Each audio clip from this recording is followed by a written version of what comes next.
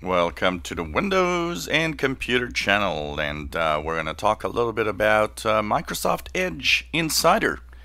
And of course if you don't know, Edge, the browser within Windows 10 is being absolutely rebuilt from bottom to top and basically uh, it is rebuilt around Chromium which is the um, you could say the core of what Google Chrome is all about.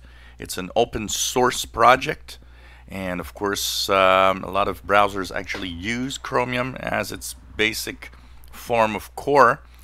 So uh, Microsoft decided, well, if you can't beat them, join them, kind of. So um, it's ditching its own Edge HTML uh, Chakra engine and it's actually moving this to Chromium.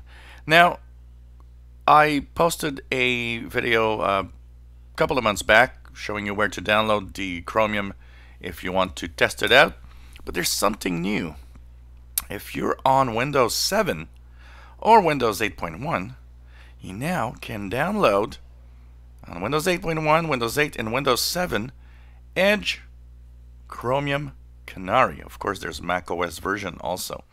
So if you're on Windows 7 or on Windows 8, check it out. You can now download the Canary channel.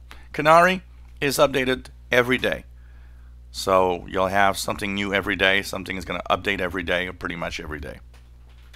Eventually it's going to be in the developer channel and of course also the beta channel coming soon. So all you got to do is go to this page where I'll post the link in the description below the video. And here it says download for Windows 10. Just click the down arrow choose your version and install it on your computer. It's now available for Windows 7 and Windows 8 as of today, June 19th, 2019.